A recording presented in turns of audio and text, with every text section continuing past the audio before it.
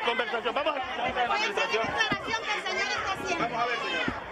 Algo como presidenta de ANEA. No es política.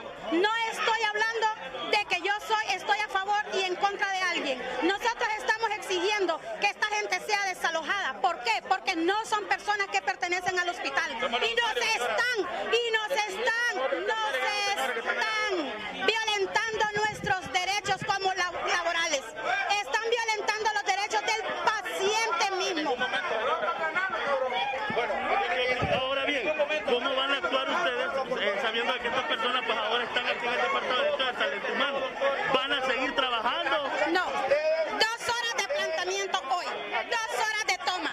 Y si aquí hoy no hay un resultado, nosotros nos tomamos las instalaciones indefinidamente. El director de este centro hospitalario, No lo dejan entrar a trabajar, pero los portones están abiertos, compañero. no lo permiten. Registran los carros, registran los carros hasta las cajuelas para ver si así lo, ahí lo meten. Y la seguridad de, de- y la seguridad del hospital.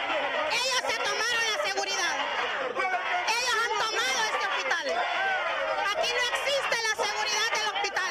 No existe, no tenemos, estamos inseguros. Porque ellos mismos son los que manejan el portón.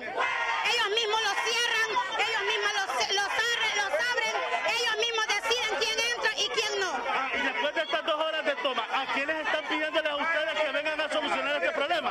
¿A quiénes le están pidiendo a ustedes que vengan a solucionar este problema? ¿A quiénes más? Pues ¿A quién? todo el mundo, nosotros sabemos que, que dependemos de una dependencia, dependemos, dependemos del Estado. Le pedimos por favor a las autoridades, a la presidenta de la República, al ministro de Salud, por favor, los derechos humanos que se presenten. Es verdad, hay pacientes que no se han podido operar porque con estos zafarranchos se les sube la presión, se les sube el azúcar, pacientes que tienen miedo de venir al hospital a buscar una atención médica. ¿Por qué? ¿Por qué? Porque están en este zafarrancho, porque la gente tiene miedo. Ok, Alma, escucha. ¿Quieren un acuerdo? A ver, ¿qué acuerdo? Escucha. acuerdo es, el acuerdo es que dos campesinos quedan acá en la puerta porque es la toma que tenemos los campesinos. Ahora bien, vamos a trasladarnos para el área administrativa y que le quede claro, no detenemos a nadie en el portón, señores, que le quede muy claro, ahí nadie está. Si ese, si ese es el disgusto, si ese es el disgusto, entonces todos vamos a permanecer allá en administración hasta que se resuelva esto. La presidenta, por favor, resuelva esto, señores. Todos somos hondureños, todos somos hermanos y merecemos una salud, pero digna. Bueno, en este momento se mueve, se mueve la gente eh, que ha tenido tomado lo que es el, el Departamento de Talento Humano. Esta toma inició hace 30 días desde el área administrativa que queda a las afueras de aquí donde estamos en este momento, eh, siempre dentro del hospital, en los predios del hospital, pero eh, en el área, fuera del área de atención.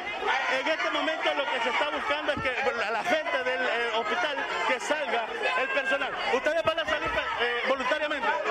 Es, es correcto, aquí quedan dos personas campesinas acá en la puerta porque este es un símbolo patrio que tienen que respetar, señores. La salud la estamos exigiendo. Nosotros, los demás, si el disgusto